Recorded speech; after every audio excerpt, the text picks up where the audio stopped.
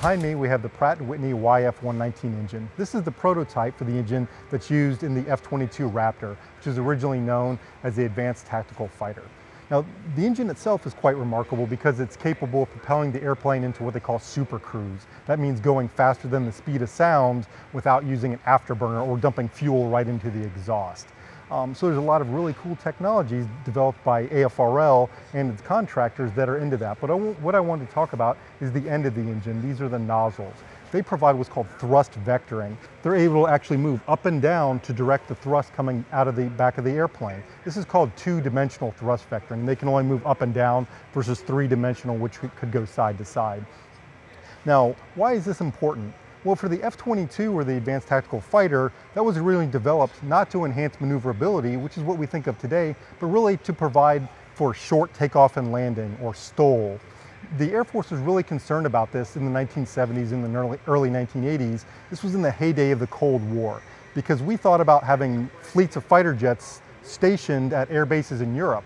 Well, if you wanted to knock out an entire fleet of fighter jets, you didn't have to blow up all the airplanes. All you had to do was blow up all the runways. Well, if you could enable a fighter jet to take off and land in a much shorter space, you had much greater flexibility to where you could deploy those and destroying runways would be much less effective for taking those out of action.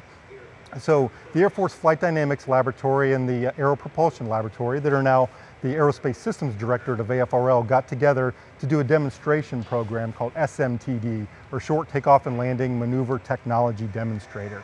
They put these, these nozzles or experimental versions of them on the back of an F-15 and flew it out at Edwards Air Force Base to demonstrate how these could fly, to really refine those technologies, and also to integrate those with the flight control system so a pilot wouldn't have to think separately about, well, I need to move nozzles one way and I need to move the flight controls another, but all that would happen automatically through the flight control system.